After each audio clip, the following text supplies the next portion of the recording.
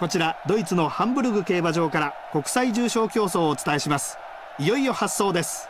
スタートしました。ハートソリスト好スタートを切りました。綺麗なスタートを切りました。ダッシュよく飛び出してハートソリストハナに立ちます。その後ろからはビッグドリーム。この馬も上がっていく構えです。さらにはダブルトリガー13番キングス・フォーネット。その後ろ後方に控えたのがダッシュウィン。もう一度先頭からダブルトリガー先手を取りました。黄色の帽子コーナーセンサー。その後ろプラウドリーフ。その内に続いています。内からはビッグドリーム。その外からスムースビジョン。その隣にカーネギー。その外からミスター・ベイリーズ黄色の帽子ブライト・リーガルその後ろすぐ隣にハートソリストその外にコラスト・ガバメントダラーラその内に続いています。桜ローレルこの位置です。並んで13番キングス・フォーネット 1000m を通過しました。ここまでほぼ平均ペース。展開への影響はなさそうです。この辺りで各馬第3コーナーのカーブに入ります。では前の方から見てみましょう。コーナーセンサー先手を取りました。すぐ隣にスムースビジョンその横にカーネギー。ビッグドリームこの馬もこのグループその外にブライトリーガルさらにはハートソリスト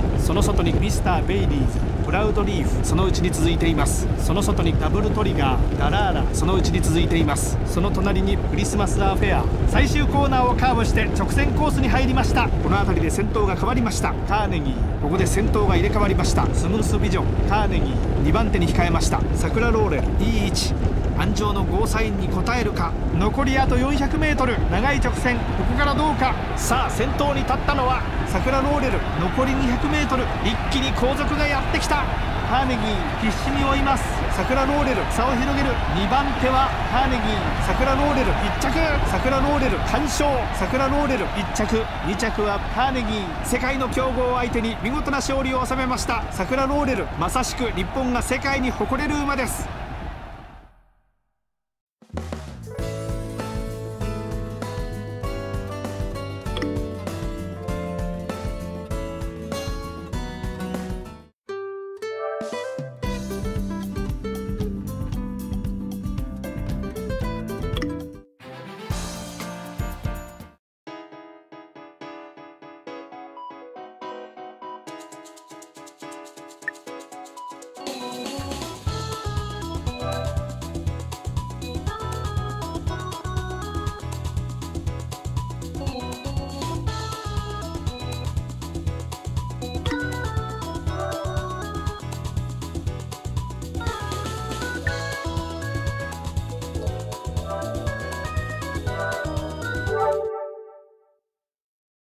4コーナーをカーブしてさあこれからです。ここで先頭変わりました。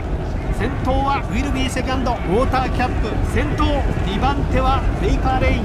残り 200m ウォーターキャップ。先頭だ。ウォーターキャップ。先頭ペイパーレイン。追いすがります。ウォーターキャップ。ウォーターキャップ。1着。2着にはどうやらマイネル・ジュピター。見事に勝ちました。ウォーターキャップ。T カフェ。完敗です。着外に沈みました。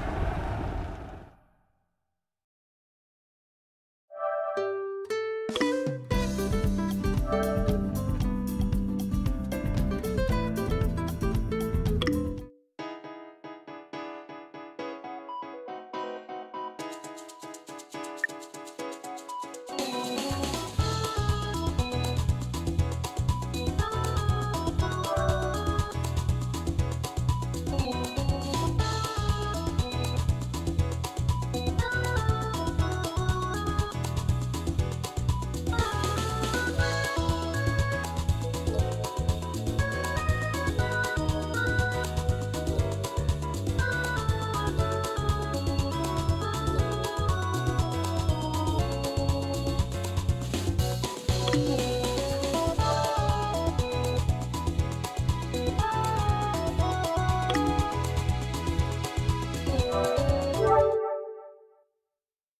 4コーナーをカーブしてさあこれからです。さあ先頭に立ったのは名将ホムラ名将ホムラ。先頭2番手は北芝スペイン。残り 200m 名将ホムラ。先頭だ。残り 100m 名将ホムラ。先頭一気に河内ソレイユ。河内ソレイユ河内ソレイユ河内ソレイユ。1着。